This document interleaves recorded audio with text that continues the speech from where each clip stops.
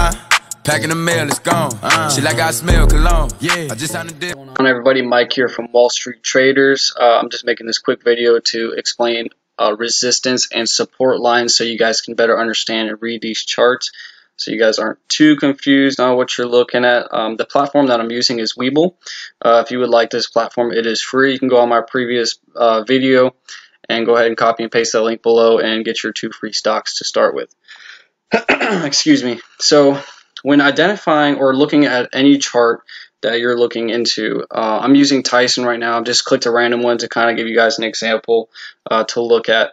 Uh, so right here, we can see that we are in a upward trend, right? If we go back, it's breaking new highs.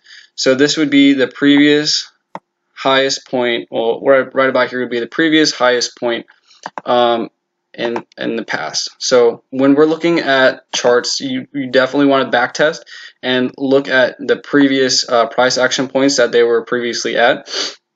And we can see that it has broken new highs right here. So what this works as, uh, it being a previous high point, it works as a resistance. Uh, so what that means is uh, usually it'll have trouble breaking through this point, which uh, I don't think it did right here. Um, but since we have a new highest point, we can see that it's making new highs. So it, this right here would be an upward trend.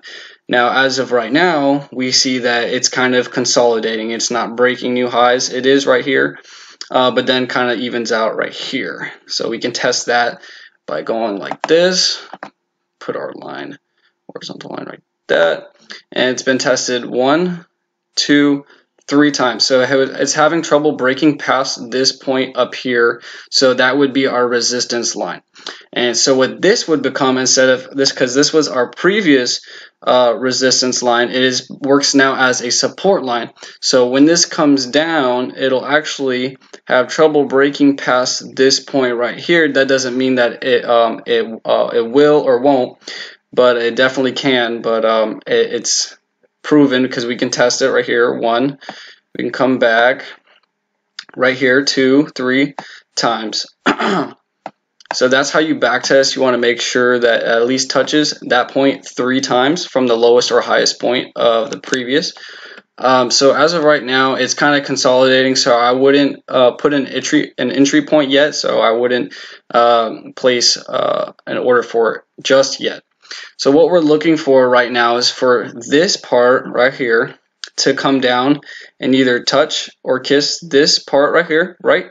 And then we would actually go down into our uh, one day chart and then our one minute interval so you're able to uh, read these candlesticks a lot easier which I'll make another video later on how to read these candle uh, stick charts to make it uh, more accurate um, for you and put you at an advantage on the market So we either are going to see it hit right here and then show a small uptrend right here. And that's exactly where you would place your entry.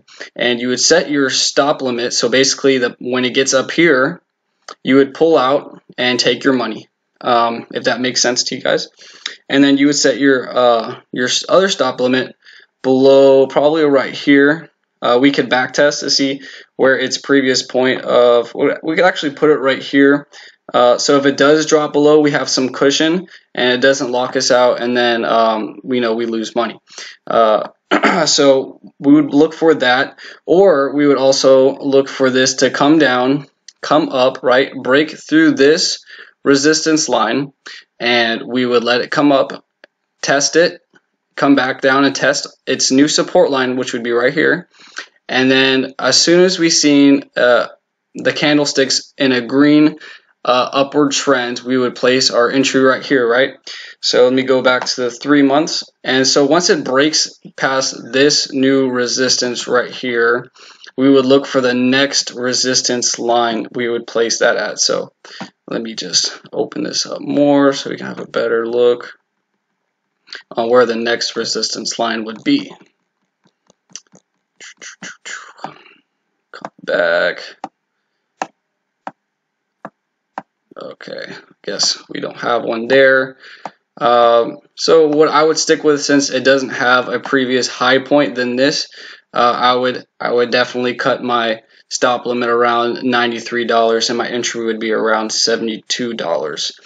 Um, so that's really just the basics of resistance and support lines.